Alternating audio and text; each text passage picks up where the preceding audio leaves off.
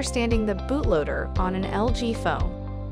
The bootloader is a secure program on your LG phone that verifies if the operating system that is being booted is secure and allowed or not. By default, bootloaders come locked to only allow booting of official LG software. This is to ensure that your device is running software meant for it and to ensure it is secure. Unlocking your bootloader can only be done on certain models and in certain markets. Unlocking the bootloader should only be done by those with the knowledge to do so, generally the application developers.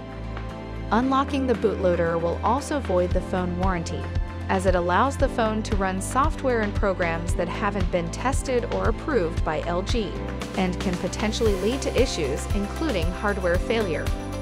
LG supports unlocking the bootloader of certain LG phones and in certain markets.